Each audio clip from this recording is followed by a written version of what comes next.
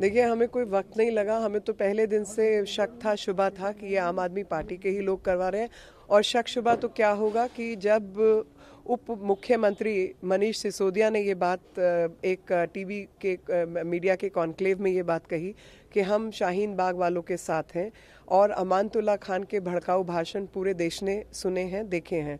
केजरीवाल जी ने कहा कि हम शाहीन बाग वालों के पक्ष में तो ये बातें तो स्पष्ट ही दिख ही रही थी कि इन्हीं लोगों का काम है। लेकिन इन्होंने ये खेल की पिच तैयार की थी अपने फ़ायदे के लिए, लेकिन इनके गले में फंदा बन जाएगा, ये इनको मालूम नहीं था।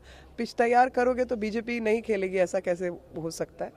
तो बीजेपी ने कुछ ऐसा तो नहीं किया, लेकिन हाँ जो अभी हाल फ़िलहाल में गोली की घटना और ये सब कपिल नाम के व्यक्ति का ये जो कनेक्शन है, वो भी कहीं ना कहीं आम आदमी पार्टी से स्थापित होता है, क्योंकि आतिशी मरलेना और साथ में संजय सिंह के साथ उनकी तस्वीरें हैं और उन्होंने आम आदमी पार्टी उस व्यक्ति को ज्वाइन कराई है। पीएफआई के कुछ लोगों का आदान प्रदान इमरान हुसैन जो कि विधायक हैं जामा मस्जिद से आम आदमी पार्टी के, उनके साथ भी निकला है।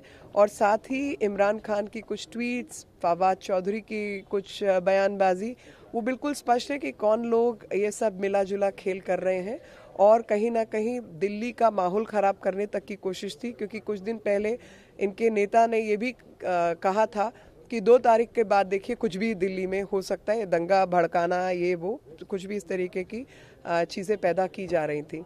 तो आज जो चीज़ें सामने आई हैं तो वो बिल्कुल स्पष्ट होता है कि कौन लोग इस तरीके की षड्यंत्र की घटिया राजनीति देश के साथ कर रहे हैं, ताकि वो किसी ना किसी तरीके से सत्ता में बने रहें। तो मुझे कुछ पंक्तियाँ याद आती हैं कि आपका तो लगता है बस यही सपना शाहीन बाग जपना और पीएफआई का पैसा अपना।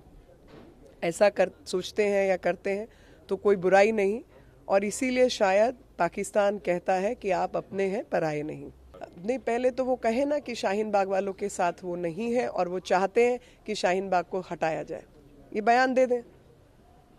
ऐसा नहीं हो सकता कि आप दो मुई राजनीति करें, एक तरफ़ कहें शाहीन बाग वालों को भी बिठाएँ और उसके बाद कहें कि सरकार जो है, वो अति कर रही है, जो धरना दे रहे हैं। तो आप बोलिए धरना प्रदर्शन वालों के खिलाफ कि जब इंटरनेट बंद होने पे आपको तकलीफ़ होती है तो जो लोग डेढ़ महीने से सड़क रोक के बैठे, तब आपको तकलीफ़ नहीं होती?